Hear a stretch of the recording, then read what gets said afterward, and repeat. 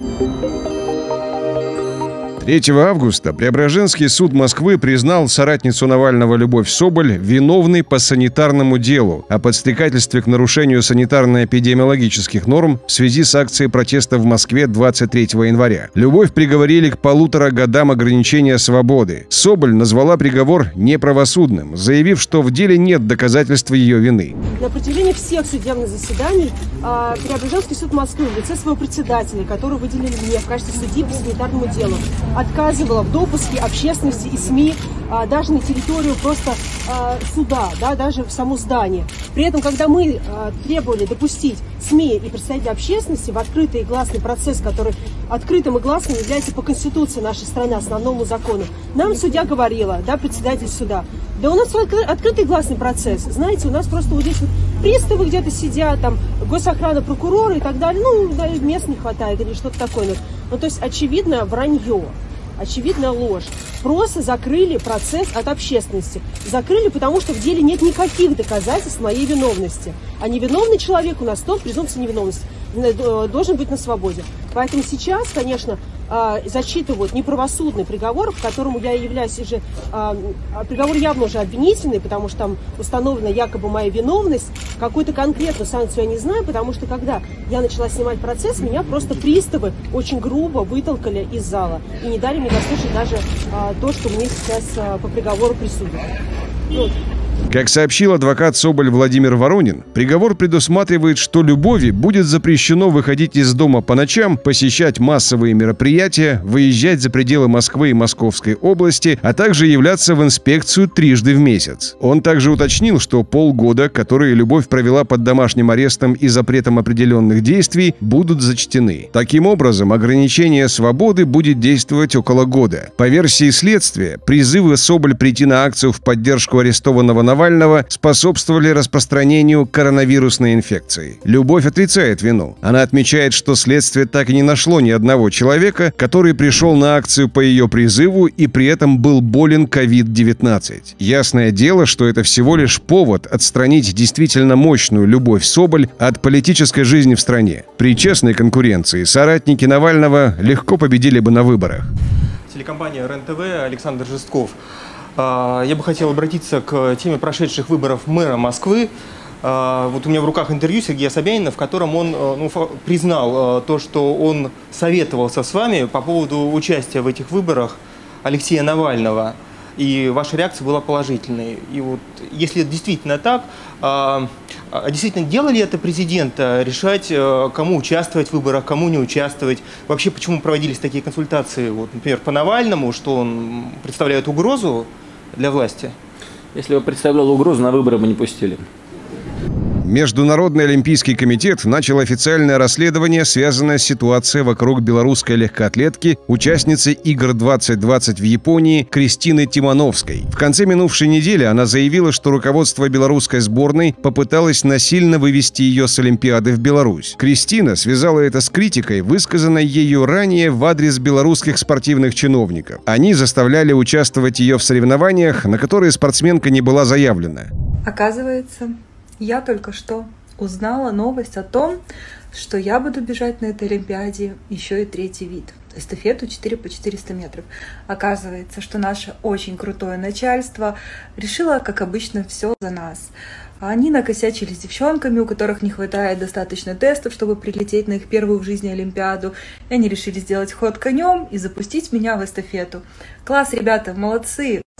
Почему же мы должны расплачиваться за ваши косяки. Если вы накосячили с девочками, с их допинг-тестами, с их пробами, плевать, чем угодно. Почему я должна расхлебывать эти проблемы? Какого я узнаю это от левых людей, при том, что я пишу нашему начальнику команды, который мне тупо не отвечает. Алло, вы вообще о чем? У вас все окей, это Олимпийские игры, это не приколы. Некоторое время спустя Тимановской купили билет на самолет и вывезли в аэропорт, откуда она должна была вылететь в Белоруссию, несмотря на то, что была заявлена на соревнования на дистанции 200 метров. Кристина решила действовать и попросила помощи у Международного олимпийского комитета. Я прошу Международный олимпийский комитет о помощи. На меня было оказано давление, и меня пытаются вывести из э, страны без моего согласия, поэтому я прошу Международный олимпийский комитет вмешаться в это.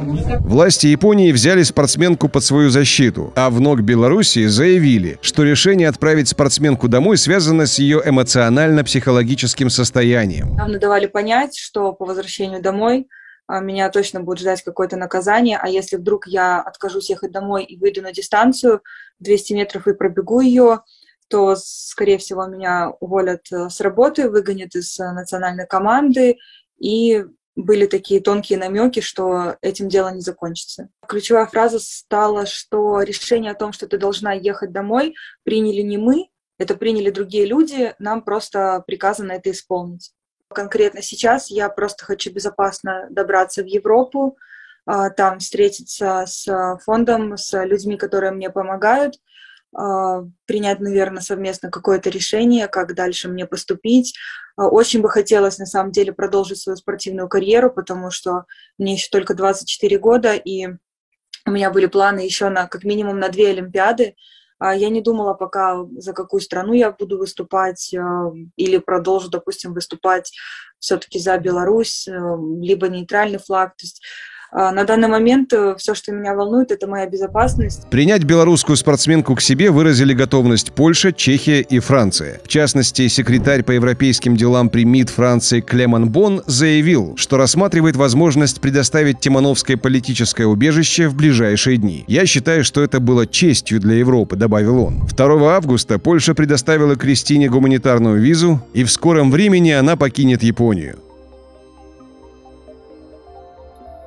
Но не Лукашенко единым. Несмотря на все, жизнь продолжается и в Беларуси. Блогер из Минска Максим Мирович решил подробно изучить последствия аварии на Чернобыльской АЭС и отправился в Припять на военные объекты зоны, а также в белорусскую часть зоны отчуждения, где находятся брошенные села и город-призрак Солнечный. Ему удалось поговорить с очевидцами тех событий и дополнить общеизвестную картину того времени. Если вас заинтересовало, ссылка в описании.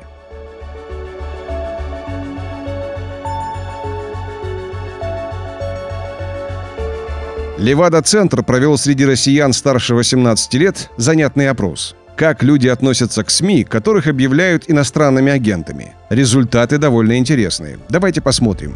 11% респондентов хорошо знают о данном законе. 31% не имеет ясного представления, но в курсе событий. 57% первый раз слышат об иностранных агентах. Очевидно, Соловьеву с Киселевым еще есть над чем работать. Больше всего о законе осведомлены читатели интернет-изданий. 58% либо хорошо знают о законе, либо хотя бы что-то слышали о нем. Среди телезрителей соответствующий показатель составляет чуть больше трети – 36%.